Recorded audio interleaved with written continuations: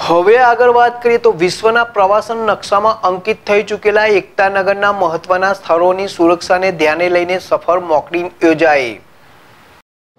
Statue of યુનિટીના food court અને સરદાર સરોવર નમદા બંધ ખાતે આતંકી હુમલો થતા પ્રવાસીઓને આતંકીઓએ બાનમાં લીધા હતા અને ડેમની સુરક્ષા વ્યવસ્થા સંભાળતા એસઆરપીએફના જવાનો પર હુમલો કરી ઇજાગ્રસ્ત કર્યા હતા. ચાર જેટલા શસ્ત્ર આતંકીઓએ આ સ્થળોએ ઘૂસીને પ્રવાસીઓને બાનમાં લેવા અંગેના સમાચાર.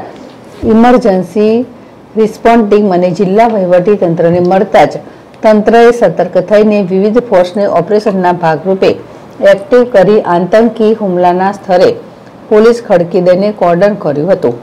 આતંકી હુમલાની જાણ થતાં જ સૌપ્રથમ તે તરફ જતા રસ્તા ઉપર સલામતી સુરક્ષા માટે વાહન વ્યવહાર બંધ કરી સ્થાનિક પોલીસ દ્વારા સ્થિતિ નિયંત્રણમાં કરવામાં આવી હતી.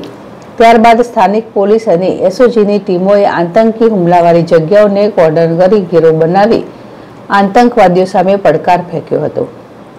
આતંકી હુમલાની ઘટનાને ધ્યાને લઈ ગંભીરતા જાણે જિલ્લા વહીવટી તંત્ર દ્વારા સ્ટેટ ડિઝાસ્ટર કંટ્રોલ રૂમ અને ઇમરજન્સી રિસ્પોન્સ ટીમની મદદ લઈ હુમલાની ઘટનામાં ઓપરેશન માટે ગાંધીનગરથી ચેતક કમાન્ડો ટીમની જરૂરિયાત જણાતા તેની માંગણી કરી હતી. ચેતક કમાન્ડોની ટીમ એકતાનગર ખાતે તાત્કાલિક આવી પહોંચતા ડિઝાસ્ટર રિસ્પોન્ડિંગ ઓફિસર દ્વારા હુમલાની ઘટના અંગે નકશાના માધ્યમથી સ્થળ સ્થિતિથી કોમ્યુનિકેશન દ્વારા વાકેફ કરતા ચેતક કમાન્ડોની ટીમ દ્વારા તાબડતોબ કુનેહપૂર્વક તમામ સ્થળોએ ઓપરેશન પાર પાડી આતંકીઓને ઠાર કરી બિલ્ડિંગ અને અન્ય પ્રવાસન સ્થળોએ ફસાયેલા બંધક લોકોને આતંકીઓના કબજામાંથી મુક્ત કરાવ્યા હતા.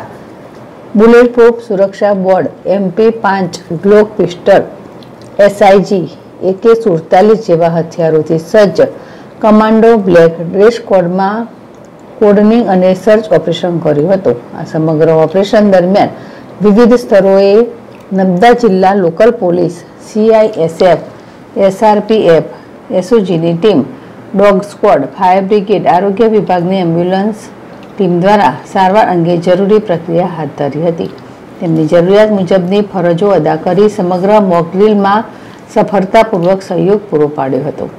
આ દુર્ઘટનાના મોકડ્રીલના સફળ ઓપરેશન બાદ નાયબ પોલીસ અધિક્ષક સંજય શર્માના અધ્યક્ષપદે ડીબ્રીફિંગ બેઠક યોજાઈ હતી, જેમાં સીઆઈએસએફના અભિષેક પ્રધાન, નાયબ જિલ્લા પોલીસ અધિક્ષક એસઓયુ સલામતીના રિયાઝ સરવૈયા, મયુરસિંહ રાજપૂત, ચેતક કમાન્ડોના ઓફિસર તરફથી આ બેઠકમાં ઓપરેશન દરમિયાન સલામતી અંગે ધ્યાને આવેલા મુદ્દાઓ અને રજૂ થયેલા તારણો અંગે જરૂરી ચર્ચા વિચારણા કરાઈ હતી.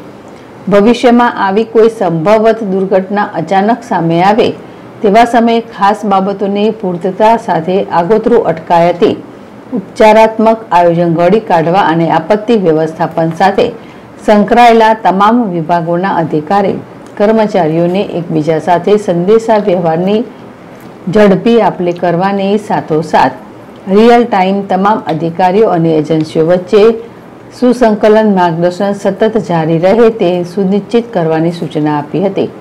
કોઈપણ દુર્ઘટના સર્જાય તે માટે સુરક્ષાના જરૂરી પ્રબંધોની સુચારુ વ્યવસ્થા સહિત સમયસર જે તે અટકાયતી પગલાં ભરવાની પણ ભારપૂર્વકની હિમાયત કરી. આતંકીઓના મનસૂબાને નાકામી યાબ કરવા કટિબદ્ધતા દાખવા સૌને અપીલ કરાઈ હતી.